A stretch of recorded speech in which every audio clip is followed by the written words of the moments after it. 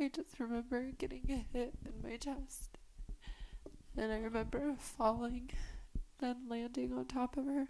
The heart wrenching story of Ashley Moser brought the prosecution's case to a close. Could you feel her breathing? No. Could you get off of her?